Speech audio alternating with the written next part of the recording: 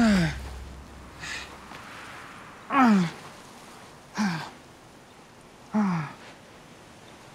are you? It's my foot. I thought I could manage it, but it's sprained bad. Maybe cut too, I'm afraid to look.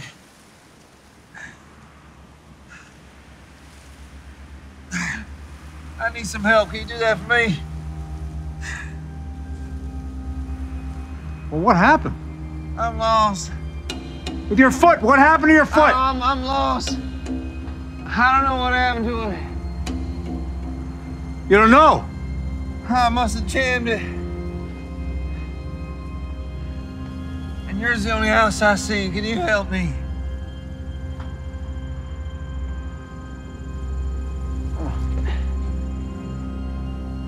You alone?